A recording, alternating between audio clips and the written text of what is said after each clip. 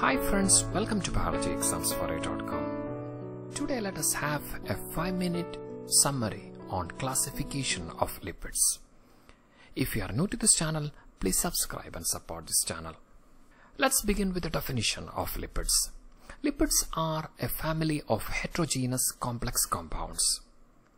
They are having a common feature that is they are non-polar organic compounds that are insoluble in water but easily dissolved in organic solvents such as methanol, acetone, chloroform, etc. They can be called as hydrophobic hydrocarbons. Lipids can be broadly classified into fatty acids and glycerides. So fatty acids are of two types, saturated and unsaturated. Let's begin with fatty acids. So this is a saturated fatty acid which is palmitic acid. A fatty acid is a long chain hydrocarbon as you can see hydrogen and carbon with a carboxyl group at the end, COOH group at the end. It can be saturated or unsaturated. In the case of saturated fatty acid, there is only single bond. It is having high melting point and it is solid at room temperature. Whereas in the case of unsaturated fatty acid, as in the case of linoleic acid, it is having double bond. As you can see, there are double bonds. It has low melting point and it is liquid at room temperature. In short, fatty acids are long chain hydrocarbons with carboxyl group at one end or COOH group at one end. Now moving into glycerides.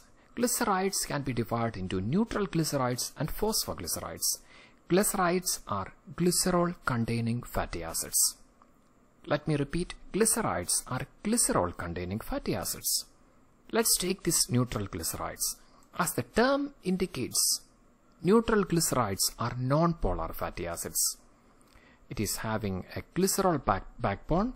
So this is glycerol, which is a three carbon compound, 1, 2 and 3. And each carbon is bonded to a fatty acid. This is fatty acid 1, second carbon is bonded to fatty acid 2 and third carbon is bonded to fatty acid 3 by ester linkage. So in the case of neutral glycerides, which is non-polar, which is made up of a glycerol backbone to which three fatty acids are joined by ester linkage. Now phosphoglycerides, as the term indicates, it is having a phosphate group. This is polar, as you can see. Here there is a phosphate hydrophilic head group. Then there is a hydrophobic tail. This is called phospholipid or phosphoglyceride. Here also there is a glycerol backbone as you can see. Then two fatty acids are joined. Then there is a phosphate group. Then there may be alcohol like ethanolamine, serine, etc. So in the case of phospholipid, there is a long hydrophobic tail and a hydrophilic head with a phosphate group. That's why which is called as phospholipid and it forms the cell membrane. Now moving into the next classification of lipid, lipids are further divided into non-glyceride lipids and complex lipids. Let's take this section, non-glyceride lipids. As the term indicates, these lipids doesn't have a glycerol backbone.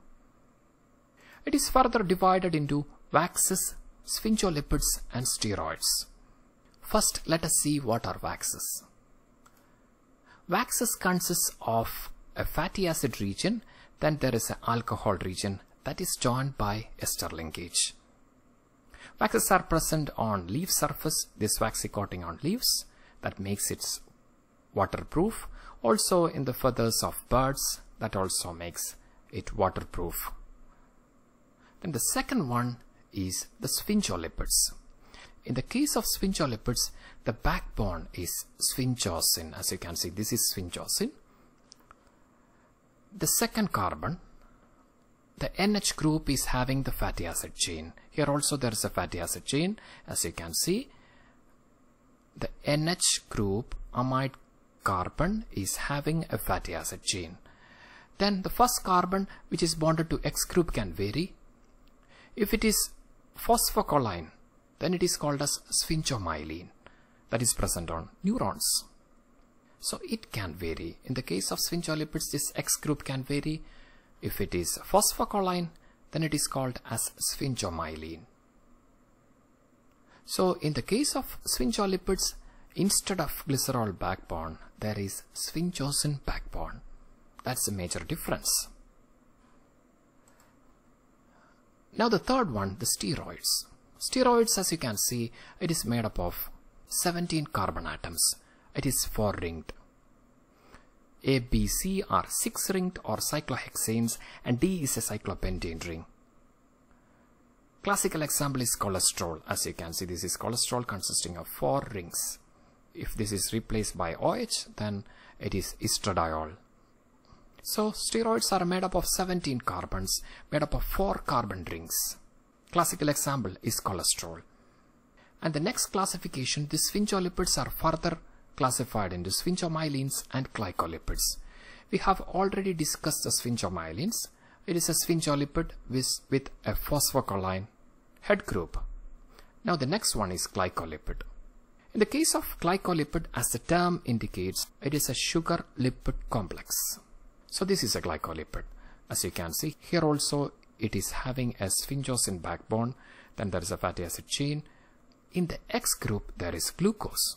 Therefore it is called as glycolipid. A sugar that is attached to the lipid group. So this is a structure as sphingosine backbone then there is a fatty acid chain that is bonded to amide carbon then the X group is a monosaccharide or an oligosaccharide. It can be even oligosaccharide. Here it is glucose. That's why this is called as glycolipid. Glucose bonded to lipid by glycosidic bond. And finally, complex lipids. In complex lipids, there is lipoproteins. As the term indicates, it's a complex of lipid and proteins. Classical example is chylomicron. As you can see, these are proteins. Apo A, apo B, apo C these are named like that. These are different proteins. This central region this T and C indicates T is triacylglycerol or fatty acids. The C is cholesterol. So this is fatty acid core. Then there is a phospholipid bilayer on the outside. Then there are many proteins. So proteins with lipids. That's why it is called as lipoproteins other examples are LDL, low density lipoprotein, VLDL, etc. All are lipoproteins. It's a complex of lipid and protein. And that is about the classification of lipids. If you find this video useful, please subscribe, share, like and support this channel. Thank you so much for watching. You are with biologyexamsforyou.com.